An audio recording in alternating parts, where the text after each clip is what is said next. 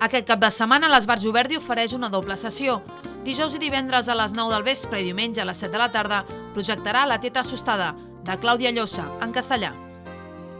I diumenge a les 5 de la tarda sessió infantil amb Franklin i el tresor del llac.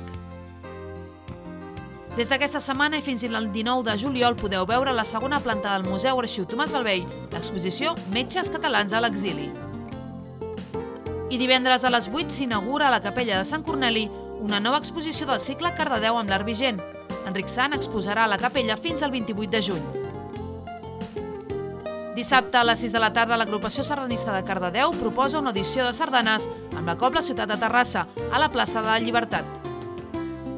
Dissabte a les 10 de la nit, Projecte Galilei presenta al Centre Cultural l'adaptació teatral de la maternitat d'Elna. El preu de les entrades és de 12 euros.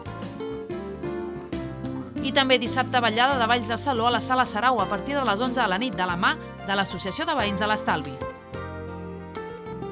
Diumenge de les 8 del matí a les 3 de la tarda, descarregada i fira d'antiguitats al Parc Pompeu Fabra.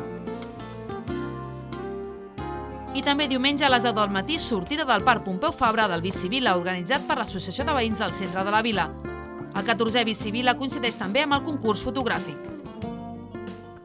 I us afegim encara una cita de darrera hora, i és que demà, a partir de 3 quarts de 9 del vespre, els aficionats al futbol podreu veure la retransmissió del partit de quarts de final de la Copa d'Europa que enfrontarà el Bayern de Múnich contra el Barça al Centre Cultural i amb pantalla gegant. Organitza la penya barcelonista de Calada.